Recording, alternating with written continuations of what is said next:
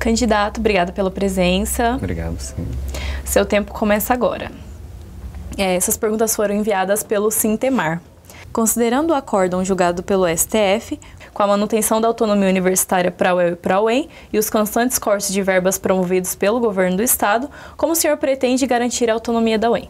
A autonomia ela é um direito, é um direito constitucional e o Conselho Universitário já se pronunciou sobre isso.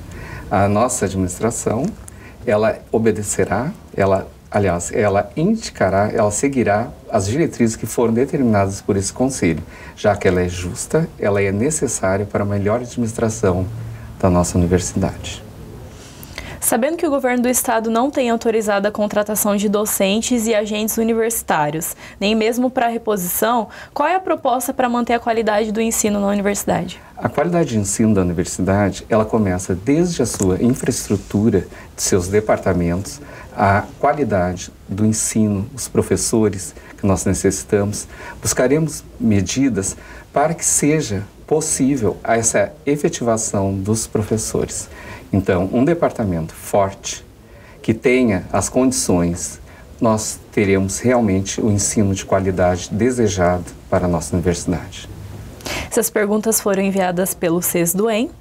Caso o senhor vença a eleição, como pretende manter relacionamentos com os sindicatos que representam os docentes e os técnicos e também o DCE?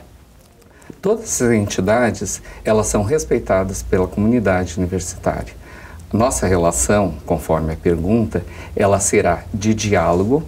O fórum para que haja essa discussão, já que eles representam as nossas diferentes categorias dos nossos servidores, será transparente, diálogo e respeito com todos.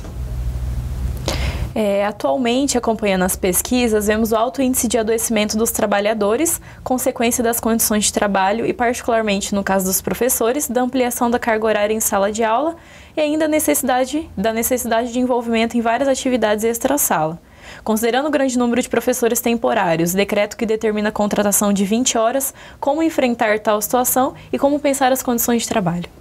Na verdade, é, essa questão da, dos docentes, a situação que nós estamos passando dentro da universidade, esse decreto que reduz nosso T40, né, a redução do TID, esse envolvimento que nós estamos passando nessa política, ele se torna penoso para a universidade. Teremos um cuidado especial, eh, buscaremos recursos ou forma, dialogaremos com, os gover com o governo, buscando essa, essa eh, quebra do decreto, né, ou revogação do decreto, porque uma universidade que não tenha é, docentes trabalhando, seja penoso essa atividade, já que nós temos ministramos aula, nós temos pesquisa, nós temos extensão, a qualidade do ensino certamente está prejudicada. Então, buscaremos de todas as formas essa é o momento né, da nossa carga horária. Em relação à qualidade é, de saúde, do nosso. E atenção, saúde mental, que é da nossa área de saúde, nós sempre pensamos na qualidade de vida.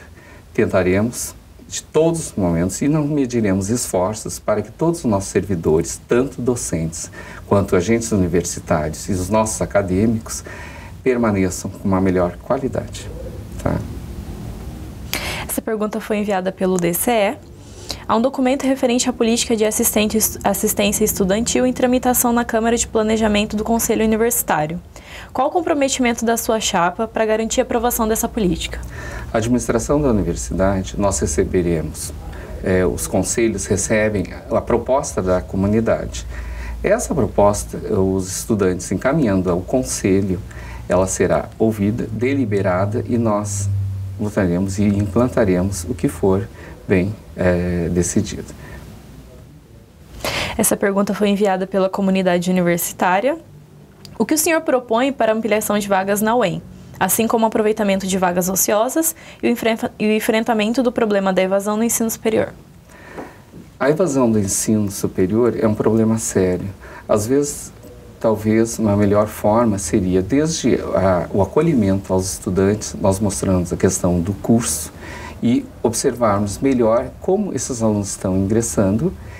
E a questão de evasão, ela se passa por uma melhoria do departamento. O departamento, às vezes o estudante, ele precisa de um departamento bem equipado, com infraestrutura, a qualidade de ensino, docentes, a efetivação dos nossos docentes, o que dará essa qualidade.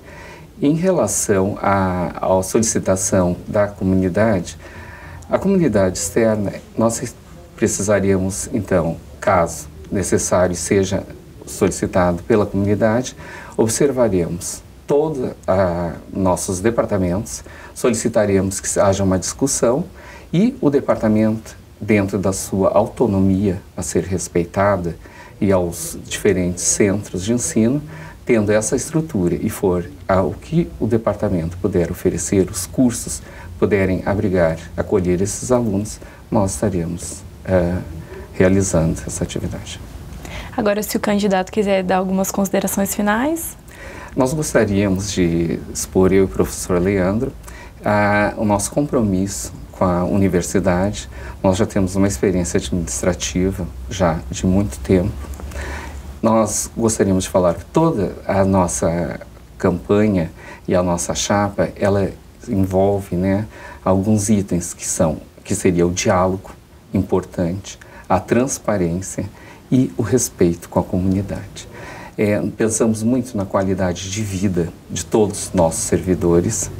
Pensamos também essa questão de transparência junto com todos os setores e entidades é, envolvidas, né, tanto sindicatos como o próprio DCE, as representatividades dos seus conselhos e tomaremos e buscamos uma universidade cada vez melhor para toda nós, para todos nós, já que também somos membros dessa comunidade.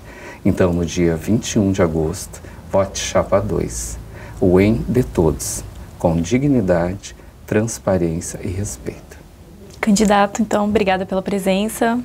Obrigado pela oportunidade e bom, bom, boa campanha para todos nós.